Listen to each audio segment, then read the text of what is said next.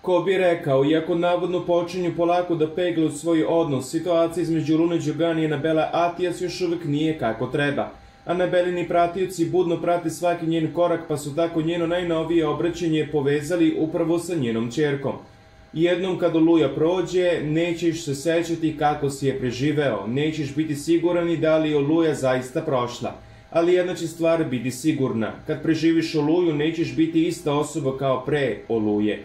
Upravo zbog toga oluje i postoje, objavila Anabela, dok su mnogi protumačili da se na ovaj dirljiv način obratila upravo Lun.